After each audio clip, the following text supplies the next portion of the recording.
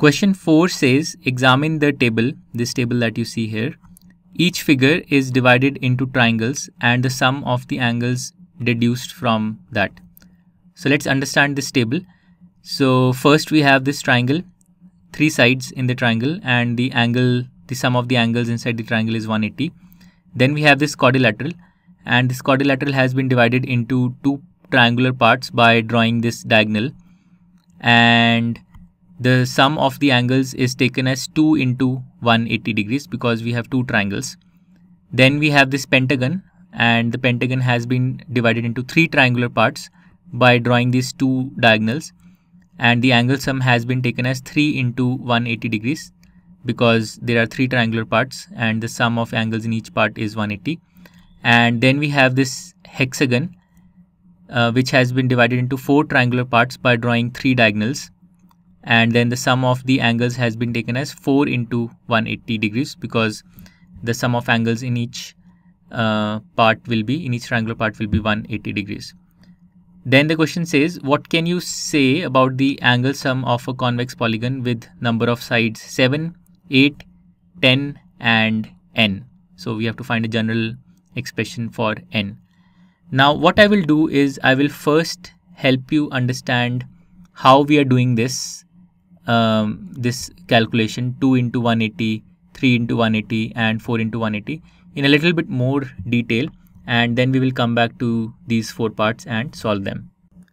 So let's first take a convex quadrilateral. So here I've taken this quadrilateral ABCD and now to find the angle, the sum of angles A, B, C and D, what we can do is we can divide this quadrilateral into two triangular parts by drawing a diagonal. So let's draw this diagonal AC and we see that uh, this diagonal splits the angles at A and C into uh, two parts each. So we have this angle 1 and angle 2 here let's say and then we have angle 3 and angle 4 uh, at the vertex C. And now if we separately apply the angle sum property to triangle ABC and to triangle ADC, we will find that the sum of angles in triangle ABC is 180 degrees and the sum of angles in triangle ADC is also 180 degrees. And so if we add them up, uh, we will end up getting the sum of all the four angles, angles A, B, C and D. And why will that happen? Well, because angles 1 and 2 will add up to angle A and angles 3 and 4 will add up to angle C. So what we will get is the sum of all the four angles equal to 180 plus 180 or 360 degrees. So the angles in a quadrilateral sum to 360 degrees which we can think of as 2 into 180 degrees and 2 being the number of triangular parts and the relationship of 2 the number of triangular parts with the sides of the quadrilateral which is 4 is 4 minus 2. So we have 4 sides and we do 4 minus 2 so we get the num number of triangular parts 4 minus 2 into 180 degree is the um, uh, total sum of angles in a quadrilateral. Now let's take a pentagon. Now how can we find the sum of angles of uh, this pentagon? So how can we find angle A plus angle B plus angle C plus angle D plus angle E? So let's use the same logic as we used in the case of the quadrilateral. Let's divide up this pentagon into triangular parts. So from A, let's draw the diagonal AC and let's draw the diagonal AD. So now we get three triangular parts uh, made by these uh, two diagonals. And if we see how these two diagonals are splitting up the angles at each vertex so at angle a, at the vertex A we are getting three parts. We are getting uh, let's call these parts angle 1 2 and 3 and at the vertex C we are getting two parts. So let's call them 4 and 5 and then at vertex D also we are getting two parts. So let's call them 6 and 7 now once again the sum of the angles in each triangular part will be 180 degrees. So in triangle ABC we, we will have the sum of angles 1 angle B and angle 4 as 180 then in angle ACD also we will have angle 2 plus angle 5 plus angle 6 will be 180 and then in angle in triangle AED also we will have angle 3 plus angle E plus angle 7 this will be 180 degrees. So if we add up all of these angles, we will get the sum of all the five angles of the pentagon because angle 1, 2 and 3 will add up to angle A, angle 4 and 5 will add up to angle C and angle 6 and 7 will add up to angle D. So if we add all the angles in the three triangles, we will get angle A plus angle B plus angle C plus angle D plus angle E and we will get their numerical value as 180 plus 180 plus 180 or 540 degrees.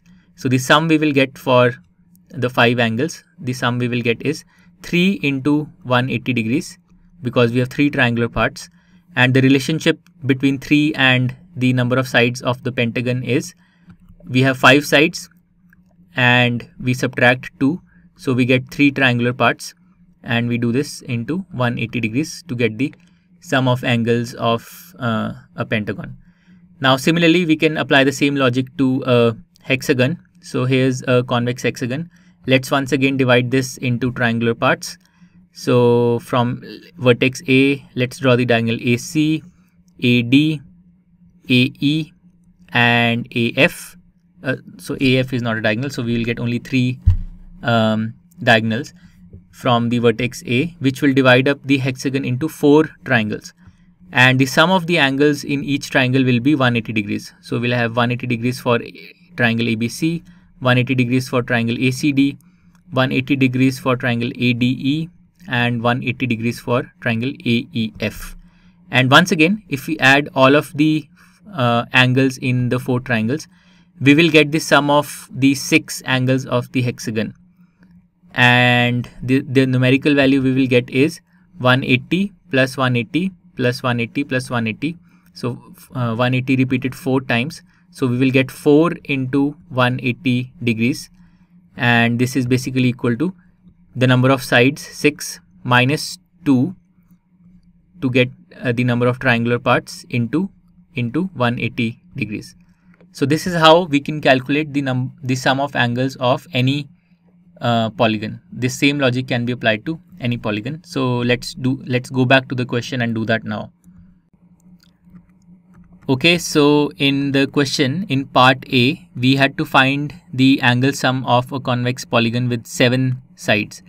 So for a convex polygon with seven sides, how many triangular parts can we split this polygon into? So we have seven and we do minus 2 so we can split up the polygon into five triangular parts.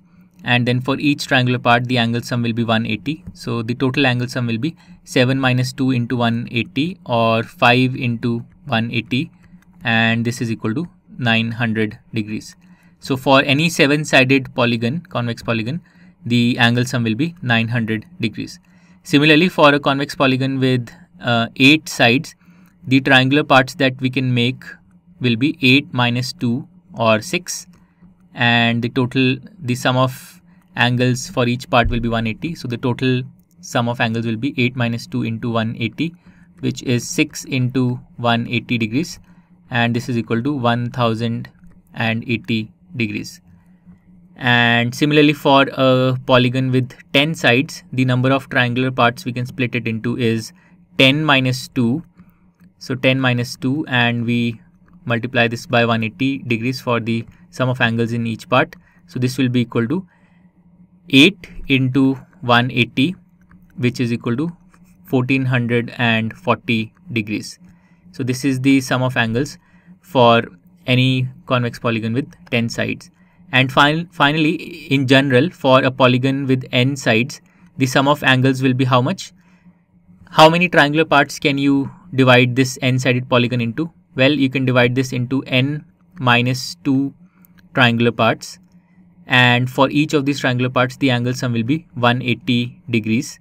So the total sum will be n minus 2 into 180 degrees and this is a general expression that can allow us to calculate the sum of the angle sum for any n-sided convex polygon, a convex polygon with any number of sides. So with this we have completed question number 4. To learn more about how Cuemath can help you crack school and board exams, explore Cuemath Leap, a live online classroom program run by highly experienced and committed teachers.